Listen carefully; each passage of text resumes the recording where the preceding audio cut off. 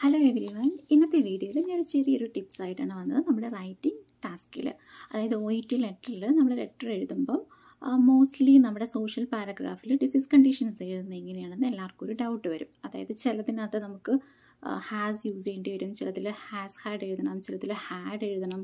അത് ഈ മൂന്നെണ്ണവും എങ്ങനെ യൂസ് ചെയ്യണമെന്ന് ചിലർക്കൊരു ഡൗട്ട് കാണും. സോ ഇന്നത്തെ വീഡിയോയിൽ ഞാൻ അത് ക്ലിയർ ആയിട്ട് നിങ്ങൾക്ക് പറഞ്ഞുതരാം. സോ ഇപ്പം നിങ്ങളൊരു ക്വസ്റ്റ്യൻ പേപ്പർ നോക്കുകയാണെന്നുണ്ടെങ്കിൽ അതിൽ പല ടൈപ്പിലായിരിക്കും നമുക്ക് ടാസ്ക് തന്നിരിക്കുന്നത്. പല രീതിയിലായിരിക്കും.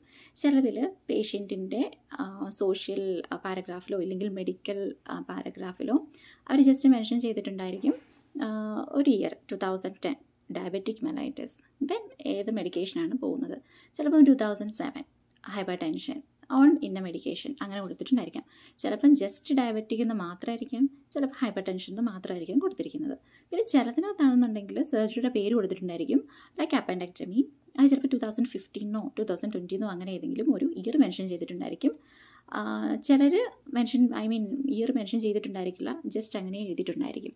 പിന്നെ ചിലതിനകത്താണെന്നുണ്ടെങ്കിൽ കുറച്ച് നമുക്കൊരു കൺഫ്യൂസ്ഡ് ആയിരിക്കും. അത് കഴിഞ്ഞു പോയോ? അത് ഇപ്പോഴും ഉണ്ടോ? അത് പല രീതിയിൽ തരുമ്പം നമ്മൾ ടോട്ടലി കൺഫ്യൂസ്ഡ് ആകും. ഇതെങ്ങനെ വെച്ച് എഴുതണം എന്നുള്ളത്. സോ അതിൽ കൺഫ്യൂഷൻ ഒന്നും ഇല്ലാതെ നമുക്ക് എങ്ങനെ എഴുതാമെന്ന് നോക്കാം. സോ ഫസ്റ്റ് ഞാൻ പറഞ്ഞുതരാം ഹാസ് എങ്ങനെയാണ് യൂസ് ചെയ്യേണ്ടതെന്ന്.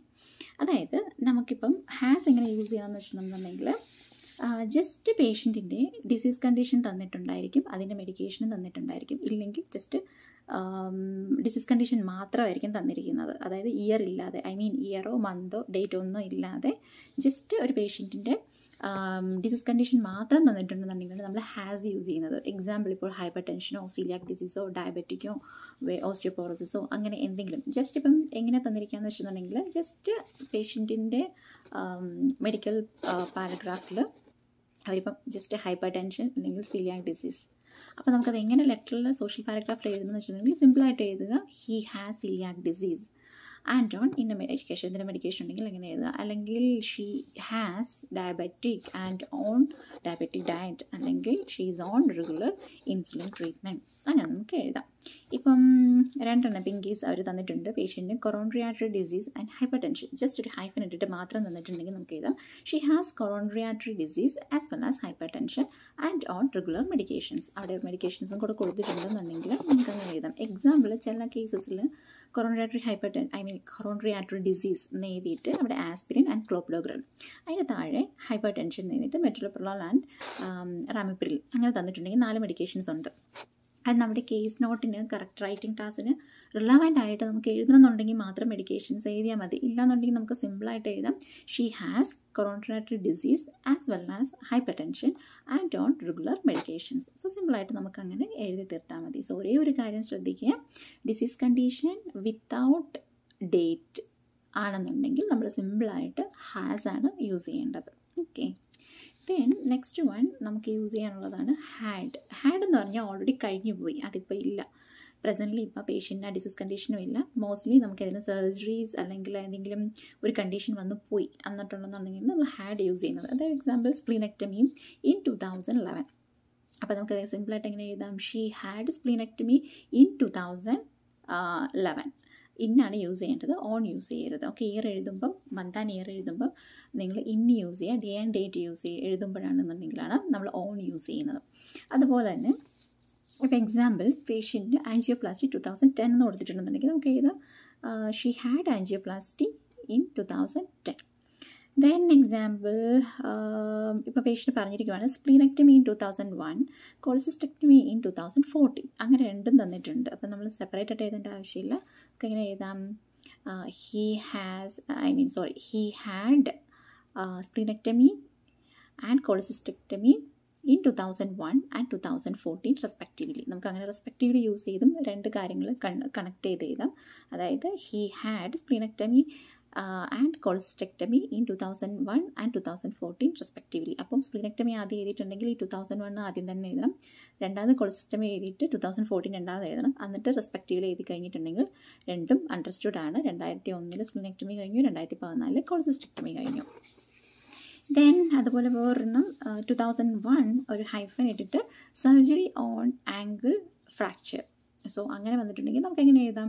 She had surgery on ankle fracture ഇല്ലെങ്കിൽ she had surgery for ankle fracture in two thousand one so അങ്ങനെയാണ് നമുക്ക് ഹാഡ് യൂസ് ചെയ്യുന്നത്. അതായത് കഴിഞ്ഞു പോയി ഓൾറെഡി ഇപ്പോൾ ഒന്നും ഇല്ല. അത് കംപ്ലീറ്റ് ആയിട്ട് തീർന്ന കാര്യമാണെന്നുണ്ടെങ്കിൽ നമ്മൾ ഹാഡ് യൂസ് ചെയ്യുന്ന എഴുതുന്നത്. അതുപോലെ ഡിസീസ് കണ്ടീഷൻസ് എന്തെങ്കിലും ഉണ്ടെങ്കിലും അങ്ങനെ എഴുതാം. അതായത് പേഷ്യന്റിന് എക്സീമ ഉണ്ടായിരുന്നു. ടു തൗസൻഡ് ഫിഫ്റ്റീനിൽ ഉണ്ടായിരുന്നു എന്നുണ്ടെന്നുണ്ടെങ്കിൽ she had eczema in two thousand fifteen അതിൽ ഒരു കാര്യം മാത്രം ശ്രദ്ധിക്കുക. ഇൻ യൂസ് ചെയ്യുക. ഇങ്ങനത്തെ സിറ്റുവേഷൻസിൽ ഇനി നമുക്ക് എങ്ങനെ ഹാസ് ഹാഡ് യൂസ് ചെയ്യാം? അതെല്ലാവർക്കും ഒത്തിരി കൺഫ്യൂഷൻസ് ഉള്ള കാര്യമാണ്. ഇത് ഈസി ആയിട്ട് പറഞ്ഞിട്ടുണ്ടെന്നുണ്ടെങ്കിൽ ഒരു ഡിസീസ് കണ്ടീഷൻസ് ഇപ്പോൾ ഉണ്ട്.